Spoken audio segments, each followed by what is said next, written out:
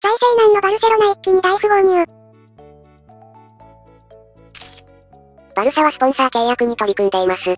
ラポルタのドバイ訪問は極めて重要であり、取引をまとめるために再びドバイを訪れる予定です。単価プロ。これはでかい金額入りそう。ラポルタ頑張れ。悲しいが今はしゃあない。いずれはまた胸スポンサーなしになってほしいな。大事だけどさ、オイルマネーってなんか負けた感悪くない？スーパースターラマシア軍団の融合が見たいんやそしてバペマドリーとの怪獣大戦争みたいなクラシコが見たいんや。バルサもオイルになるとはねえ落ちぶれたもんだぜう。やめろもうしてバカにできなくなるやん。これで契約したら逆に金使いすぎてバカやるやん。リバプールみたいに給料の順は明確にしろ健全にオイルマネー使えよ。間違っても不正はするな。油かもともとギットギトの屈性クラブだからいいんじゃない？金遣いやばそうやなう。